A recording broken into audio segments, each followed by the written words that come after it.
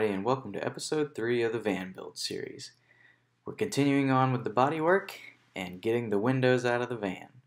So to do that, we had to cut out the weather stripping that surrounds the window and basically push the window out of the van.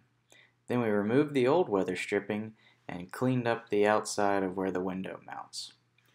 Then we moved on to the rear windows. Those were a little bit trickier. Basically, they're urethaned into the van. So effectively, it's a tough glue epoxy that's used to stick the windows in. And the reason that we wanted to take all the windows out is because we've got new windows that have vents in them basically so we can open the windows by sliding them to one side or the other and allow air to move back and forth through the van. So we tried several different ways to get the rear windows out. Uh, we tried to chisel in under the urethane. We tried to use a razor blade to get under the urethane. Uh, we resorted to pouring acetone onto the urethane in hopes that it would break down the, the bond. But unfortunately, none of that really let the windows free of the van. So we took the rubber hammer and tried to tap them out and it turns out when you tap them out, they come out in about 5,000 pieces. So basically, we ended up just breaking both of the windows and cleaning up the mess once we were done effectively. Um, it was pretty big mess. Uh, there was glass everywhere, but it was a pretty quick way to to get them out. Um, so the problem with that was though, once we had broken them out, there was still glass that was urethaned to the van. Now, it was only a thin strip around the outside, but we still had to basically chisel out the urethane that was still glued to the van. Um, and so we started at it with regular chisels and hammers, and then tried putty knives and hammers so we could try to get under the urethane better. And eventually we resorted to using an air chisel to just air chisel the urethane off of the van and that turned out to be the most effective way. It just kind of zipped right through it. Uh, we did have a couple places where the air chisel kind of dug into the metal, but fortunately, the windows that we're um, putting in, they don't use the same size opening. So we're going to trim out a slight bit of the opening and hopefully trim out the areas that we messed up in order to get the, the new windows to fit when they come in. Once we got all the urethane out, we then had to clean up all the glass that had flown everywhere when we effectively busted the windows out of the back of the van. And so once we got the windows out, we then moved to trying to reinforce the door. Because basically, the way the doors shut, you kind of have to slam them. And when you do that, you tend to push on the middle of the door. And there's really no reinforcement in the middle of the door to keep the door panel from bending in. So over the years of being shut over and over and over, the door panel kind of caved in in the door. And so since we were going to the extent of doing the body work and filling all the low places and basically getting it prepped for paint, we decided to go ahead and weld in some reinforcements in the rear doors, kind of similar to what we did in the, the second episode where we reinforced the sliding door it kind of had the same problem where when you, people had shut it over the years, it had caved in that door as well. But most of that was due to the fact that the latch wasn't adjusted right and it just really needed to be adjusted so the door closed properly. But as for the rear doors, they um, they don't really line up perfectly, uh, but they were close enough to where that really, if you shut them normally, it shouldn't have caved the door in. But over the years, I guess it had been slammed one too many times and had been caved in. So basically, we bent a couple of supports and welded them in between the inner frame of the door and the outer frame of the door and reinforced that area so when you do close the door, now it will have a, a, solid area that you can effectively push against and it won't cause that panel to flex. And one reason that we're kind of sensitive to the panels flexing is that once you put Bondo on them to try to smooth them out, if there is any flex, you run the risk of the Bondo cracking and therefore the top coat of the paint will crack. And then from there, it's just a, a chain reaction of basically have to strip the door down and repaint it again. So we really wanted to try to make the panels as stiff as we could to try to eliminate as much of that flexing movement as we could on the outside so that over the long term the paint would not crack due to the Bondo being there. And it it really took a lot of time to weld in all the panels. And I mean at the same time we were like pushing the concave dent back out. So it's like a, a push and shove basically of trying to get it lined up perfectly, sometimes pushing it a little too far and then having to push it back and then all the time welding and every time you weld you heat up the door and that can cause it to flex and warp. So it was kind of a, a struggle to get everything to line up just how we wanted to and make sure the door still shut once we had welded everything onto it. And so once we got the the doors reinforced from inside out we started looking at how they aligned with each other and we found that one door was slightly more concave than the other. And so we decided that we would try to basically bend that door back out. And it just happened to be that the, passenger side door was the one that was really too far concave. And so we tried to straighten it with a 2x6, but the door in that area is surprisingly rigid. And so basically the 2x6 just kind of bent to the shape of the door and didn't really straighten the door at all. And the main reason that we're focusing on this area is because when the door shut, there would be a gap basically in the middle where dust and water and basically air, anything would get into the van because the door didn't seal in the middle. So we're trying to achieve like a uniform fit from top to bottom so that way the, the door seal compresses all the way and keeps the rear door sealed completely no matter or what weather conditions we're driving through at the time. It's basically rain, snow, dust, all that stuff like I said before will will get in through that crack. And the main concern is the bed is going to be in the back, so the last thing we want to do is go to get in the bed at night and have a wet, dusty, snow-covered bed in the back. So, being as the 2x6 wasn't stiff enough, we tried to use a piece of 2x2 square tube in order to basically pull the uh, door back straight. And surprisingly, even that wasn't enough to get the door to take the shape that we wanted it to get. And I think part of it was the 2x2 square tube wasn't really long enough. We really needed to be pulling at the extreme top and bottom of the door in order to make it basically unbend from the center. And now we could have worked on the other door and tried to, to bend it in, because basically the doors just have to match. But from the way that they lined up together, it looked like it would be easier to basically make this door be straighter and leave the other door as it was. So at the end of the day, we decided to just kind of give up on the doors and basically try to attack it later because we were at a point where everything we were trying was really not straightening the door out at all. So we threw in the towel and decided to look at it again the next day. So the next day, there were four holes on the back driver's side of the van, basically where there was a reflector or a mirror or something mounted up top. And when we bought the van, it was just four bolts with rubber grommets that kind of sealed it off. So we decided that we were going to patch the holes and weld them up and make it where you could never tell that anything was there. There are a couple places of bodywork that were right next to where the rear bumper was mounted. So in order to be able to sand right up next to those areas and not scuff the bumper up, we decided to go ahead and take the rear bumper off. Basically there's two caps on the driver and passenger side that kind of go around the bumper and you have to remove those first and then the bumper itself is basically just pops onto a plastic piece that bolts to the rear of the van and there's just two big bolts eh, with big nuts and washers that hold that plastic piece on. And what we found is it looks like someone had either been in an accident or possibly backed into something in the van because one of the bolts had been basically re-welded back into where it was supposed to be and was much shorter than the other side when we ended up taking it off. The other thing that we had to remove was the bottom striker plate on the rear door because it covered up the where the plastic bumper bolted onto the van.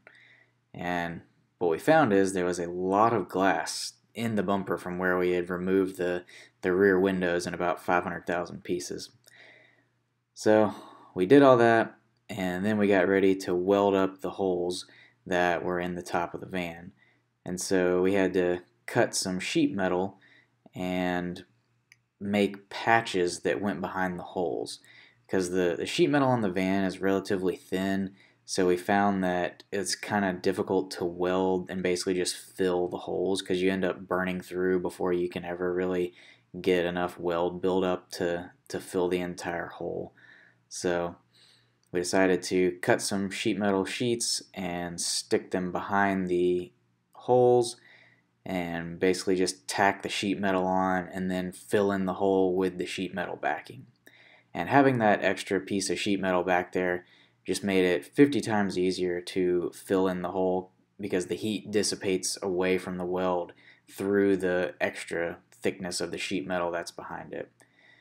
So we got the welder set up and welded the holes solid and then we came back with the grinder with the flapper disc on it and basically smoothed out all the metal there because we knew that we would have to put some Bondo over it in order to fill in all the, the low spots and high spots created from welding because there's no way to ever get it perfectly smooth when you're adding a lot of material to the van. Even if even when you grind it down, it still never is perfectly flat. So we had to, to clean up that area and get it ready for Bondo so we could then paint over it and basically smooth it all out so you could never tell it was there.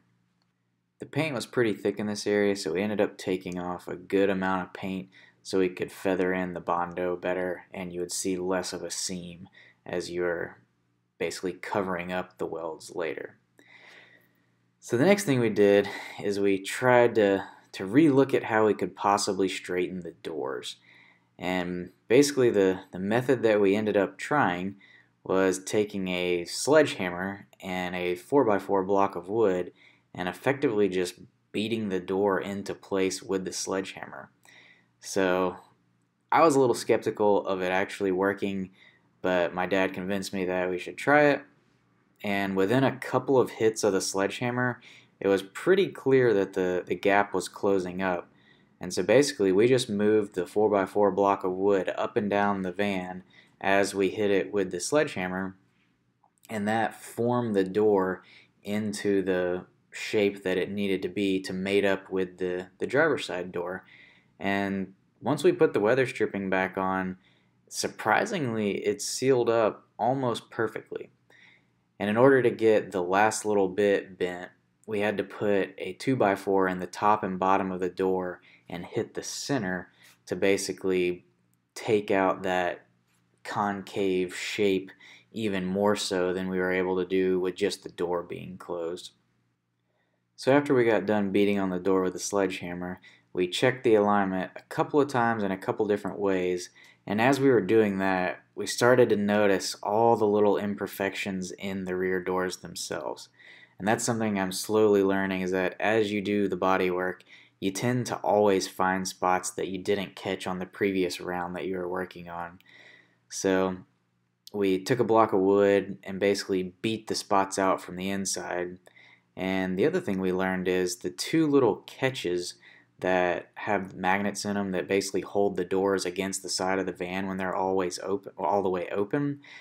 Those tend to cause the doors to create a dent as well. I guess when they're let go and they kind of slam against the side of the van on the magnet. It's a high stress concentration area where there's a lot of load in that one place and it tends to make the door bend. So we took a hammer and some boards and beat those sections back out as flat as we could, got them as close as we could, and we realized that there was actually a tear in one of the doors in that area where the sheet metal had just physically started. It was like opening a tin can, basically. It just started to rip. So we cleaned it off and we thought we could just weld the seam shut, but it was pretty clear pretty quick that that was not going to work because the metal was so thin in that area that it basically just melted away really, really quickly. So what we ended up having to do is make another plate to go behind it and basically reinforce it with a, a steel plate so we'd have a little more uh, material to weld to in that area on the van. So we took our sheet metal, cut it out, and stuck it back behind the, the door there and welded it in. And one of the other complicated parts was that there was holes there that hold the magnet on. So once we had that piece welded in, we ended up having to re-drill those holes and try to get them in the same exact place as they were before we had welded in the metal plate behind the, the door there. And it actually took a couple of times of trial and error of holding that plate in there and getting it started because the, the metal wasn't the cleanest and the weld didn't really want to stick at first.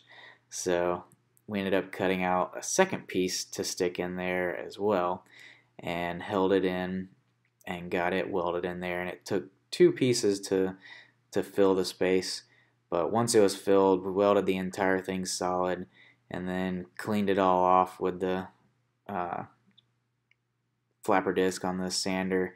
And it actually smoothed out fairly well uh, a lot lot better than I was thinking that it would. And then we re-drilled the holes in it and after that it was pretty much ready for Bondo. The one hole it really didn't want to drill straight. The, the bit kept walking, and I was worried that the hole pattern was going to spread out too much.